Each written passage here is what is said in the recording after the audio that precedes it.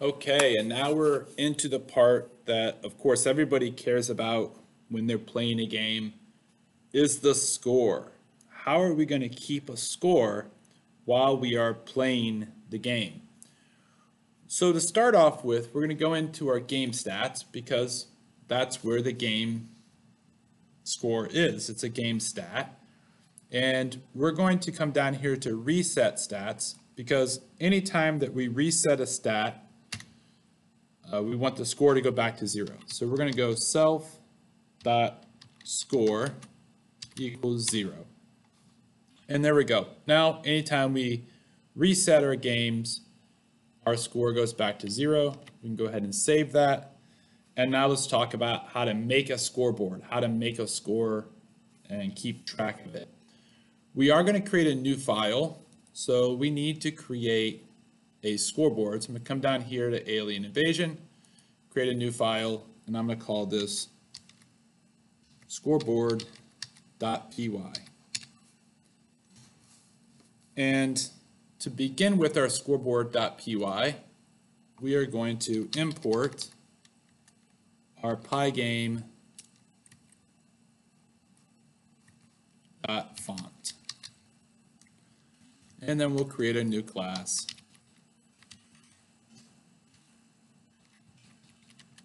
Called scoreboard. And this scoreboard class is going to represent a class to report scoring information.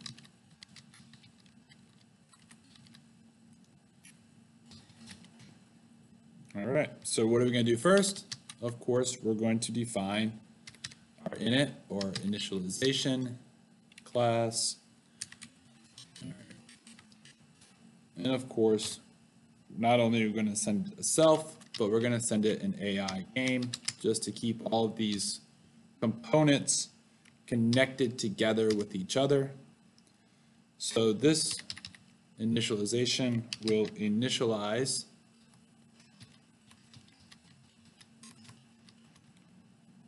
scorekeeping attributes. And so what's the first thing we're going to have? Well, we need a self.screen. And of course, that is going to equal our AI game.screen. We're going to need a self.screen rectangle underscore rectangle. Gave me some problems last time. And of course, that's going to be AI game. Oh, sorry, we'll just go self dot screen. We can get it directly from the self dot screen uh, dot get rectangle. And once we have that, we can develop our self dot settings, which will be come from the AI game dot settings. And last thing, self.stats, which will come from our AI game.stats. So again, all these attributes uh, coming from the AI game and initializing them within the scoreboard allows us to kind of keep track of everything that's happening within our own program, uh, keeping everything consistent and working well together. So the first thing we're going to do here is create a font setting for our scoring information. And so we'll do the self dot text color and we'll set this equal to a dark gray 30 comma 30 comma 30 and then we'll do self dot font to equal a pygame dot font dot sys font. And again, we're going to set it to none just to be consistent with the other fonts that are here. And we'll do a size of forty-eight for now. And this you can play around with. If you want it to be a different size, that's fine. Um, doesn't matter too much. The last thing we're gonna do here is prepare the initial score image. Is an I. Okay, so, uh, in order to do this, we're gonna use self dot prep score. And again, we don't have a prep score method yet, but you see where we're going with this. We are going to define one now.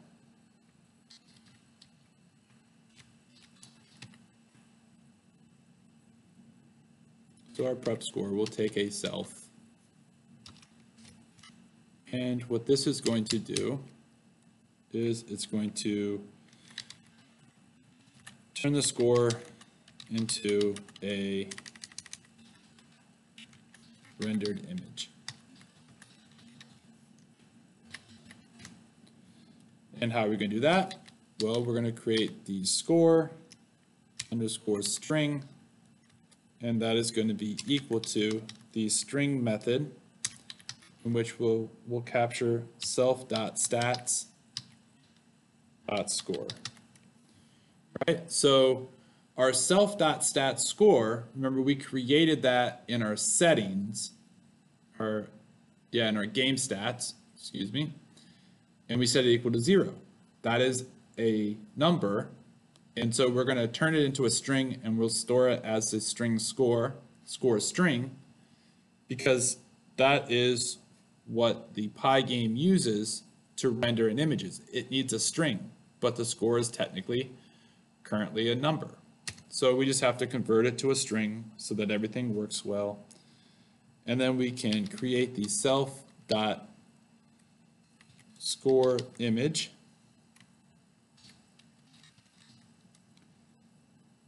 And we'll set that score image, we'll set equal to self dot font dot render.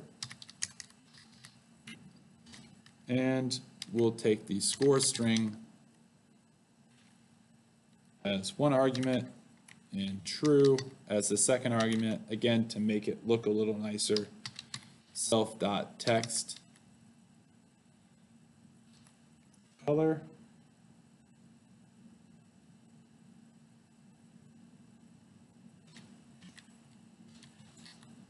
As a third argument and self dot settings dot background color.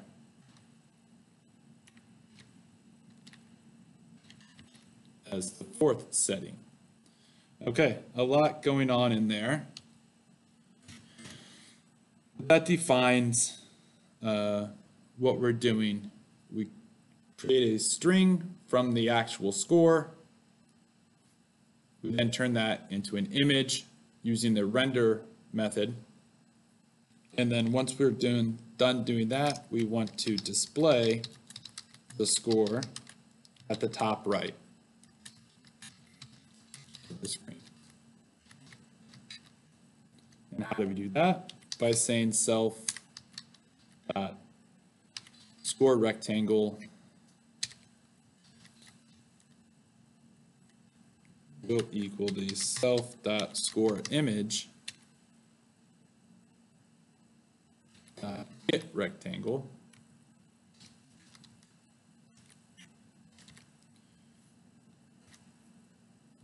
and then the self dot score rectangle dot right. Again, we care about the right side of that rectangle being the same as the self dot screen rectangle dot right minus 20. So we move it over just a little bit back to the left. So we don't want the score to be exactly on the right side. We'll just move it back about 20 so that it's offset, gives ourselves a little bit of a margin of 20 pixels. And then we just need to set our top, right? So we know where to put it on the right side, but where, where is it gonna be located on the left? So self dot score rectangle dot top will equal twenty. So twenty over from the right, twenty down from the top, seems to put it in a good location.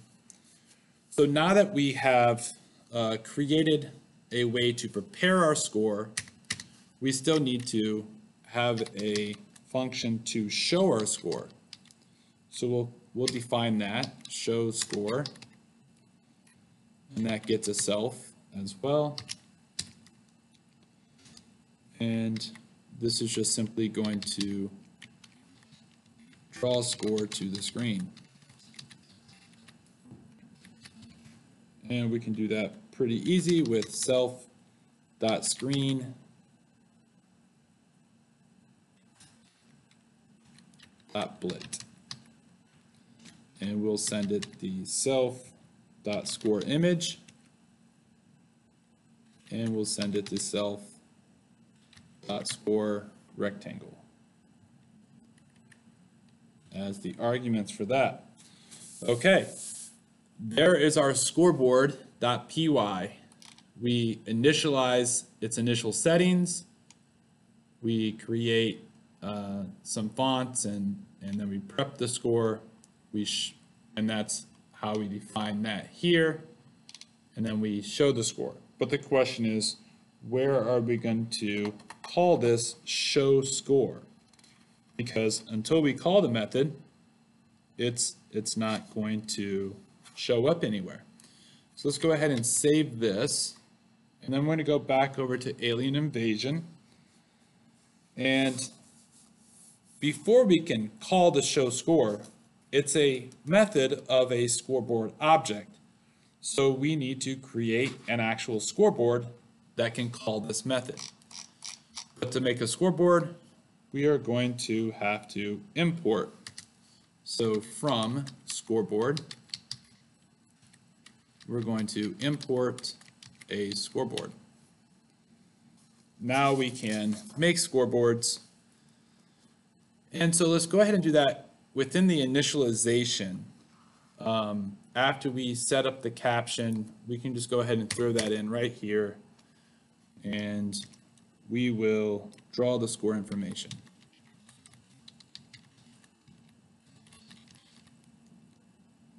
Oh, sorry, before we draw the score information, let us create an instance to store the game info.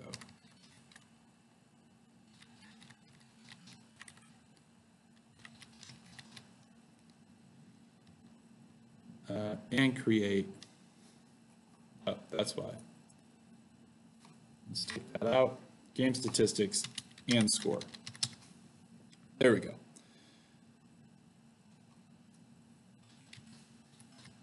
That's why I wanted to put it in here. So after we do, uh, we create the stats, we're just going to come in here and we're going to create self dot scoreboard.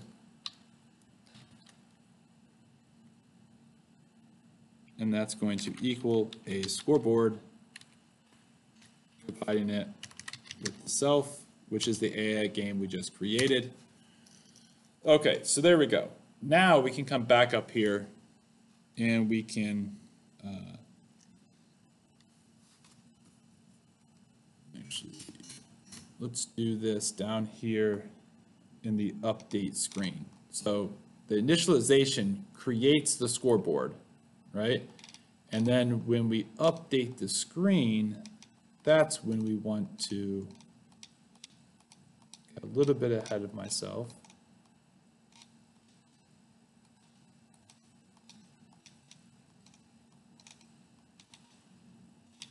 Here's our update screen here. And we can go ahead and put uh, right down here, before we draw the play button, we can uh, draw the score information. All right, and so we'll do self dot scoreboard sb dot show score. And there we go.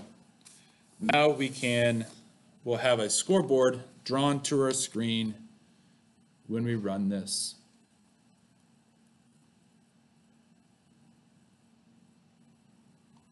All right, let's find our. Okay, so looking here, it's telling us that uh, our scoreboard object has no attribute stats. Looking at line 11 in the scoreboard. So if we scroll up to there, yeah, here's our mistake. I said self.stats plus AI game.stats because I was hitting the shift key. It should be equals. There we go. We'll save that. We'll come back and let's give this another try. And there we go, much better. And there you see the score is now displayed in the upper right-hand corner. And we are ready to go. All right, so on our next video, we'll look at how to actually keep score and how to update this score as we're shooting down aliens. So we'll pick up there on the next video.